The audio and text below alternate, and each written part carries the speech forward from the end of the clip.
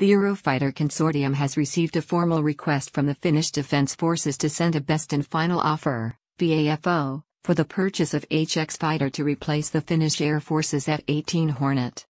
We believe that in addition to military and industrial interests, the Eurofighter offer includes everything that Finland needs for the independent operation, maintenance and management of its machines, said Jeremy Quin, the UK Secretary of State for Foreign Affairs.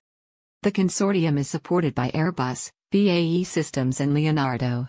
Eurofighter offers Finland and its industry unprecedented access to technology and independent performance, as well as creating high-skilled jobs and wealth, said Herman Claesen, CEO of Eurofighter. In 2020, Eurofighter partner countries committed to investing in technology that will keep the fighter's combat capability at the forefront of competition for the 2060s. The German Air Force has committed to acquire 38 new Eurofighter aircraft to form the core of its future air defense. The UK has pledged to invest in finishing a new, advanced electronically scanning radar.